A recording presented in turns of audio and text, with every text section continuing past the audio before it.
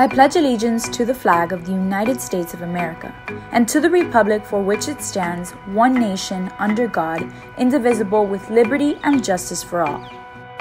The vision of Doral Academy Charter Middle High School is to set the standard for outstanding student achievement while providing a safe and nurturing academic environment.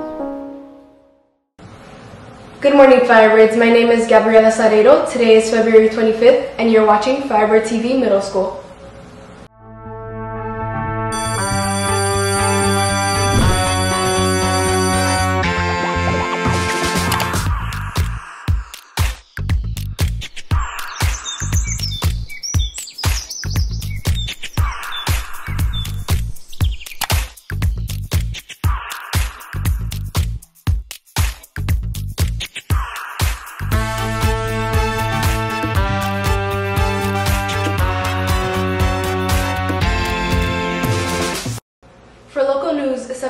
Boy was injured in a shooting in Miami Dade County. The incident was reported at around 11:15 a.m. yesterday. Police say they don't know whether the shooting was self-inflicted or not, but the information that came through the computer-aided dispatch was that the teen accidentally shot himself in the head.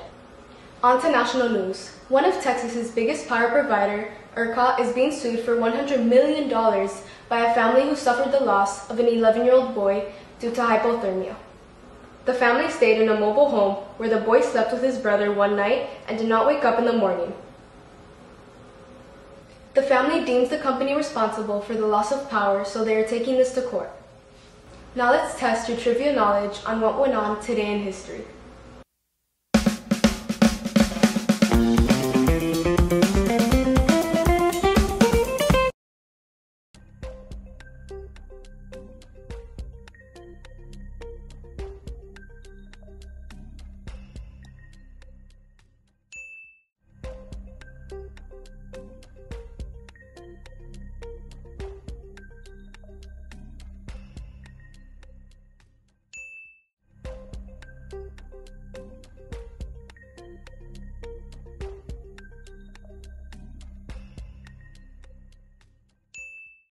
Good morning, Firebirds. I'm Kiara Lecrica here with your TikTok Thursday.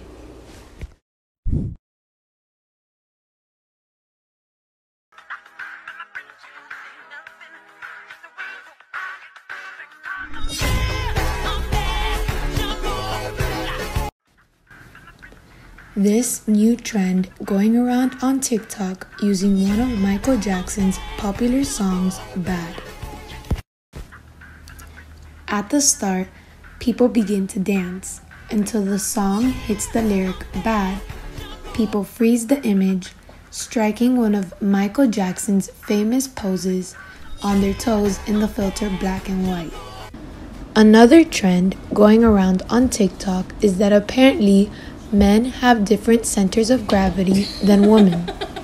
In this video, this woman can hold herself up in this position although as soon as this man tries it, he falls to the floor. Signing off from Firebird TV, I'm Chiara Lecrica. Now, here's a Black History Month video presented to you by our very own NHHS.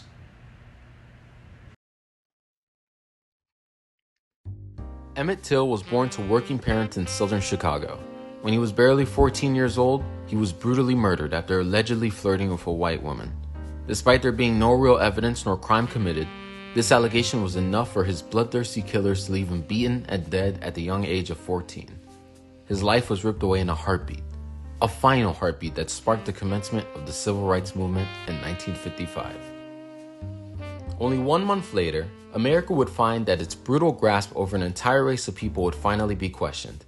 In Montgomery, Alabama, Claudette Colvin realized she simply could no longer stand for the pointless racism that plagued the nation when she refused to give up her seat to a white woman on a segregated bus. So uh, another thing, we was had to get up and give white people to see just with, not an elderly woman or an elderly man, just to show that they were superior than uh, and we was inferior.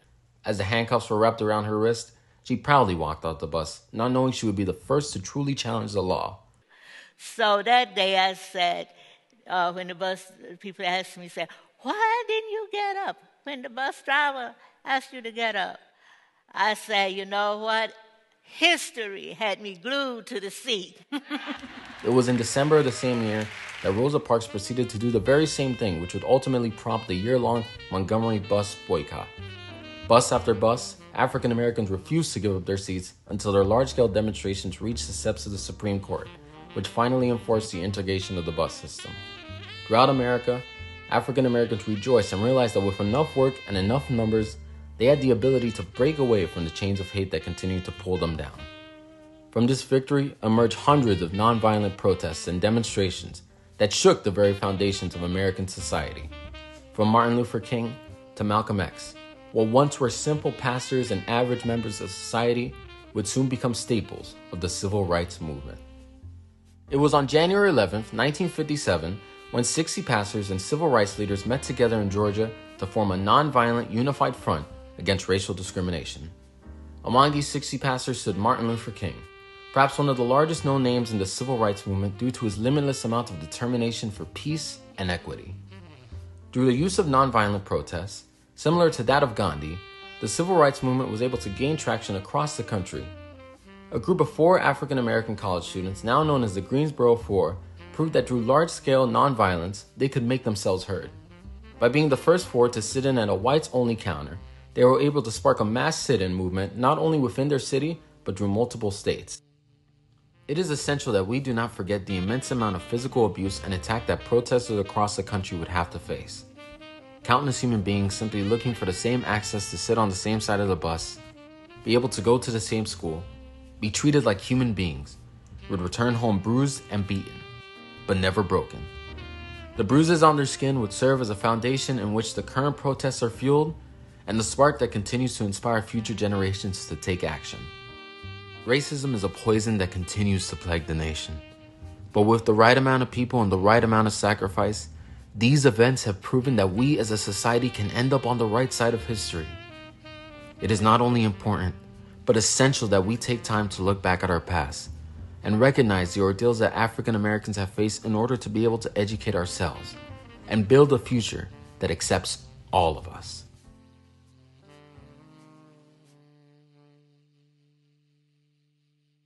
Now on to your sports announcements.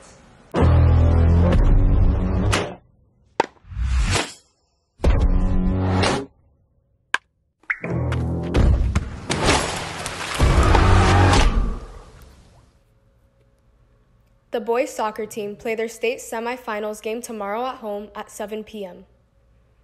There's a track meet at Southridge High School tomorrow. Softball plays against American Heritage tomorrow at 6 p.m. Softball played yesterday against Archbishop McCarthy and won with a score of 13 to 2. Key Club will be holding tutoring sessions for middle school every Friday from 4 to 6 p.m. To sign up, make sure to contact Ms. Suarez. Tomorrow is the last day to turn in your physicals to try out for the boys' middle school soccer team. There will be an Ethics Bowl meeting on Friday at 3 p.m. Yearbook pictures are March 1st through the 4th. Make sure to sign up. That's all for today, Firebirds. Make sure to follow us on other social medias at Firebird TV to keep up with our latest updates. Signing off from Firebird TV, I'm Gabriela Saredo, and I hope you have a terrific Thursday.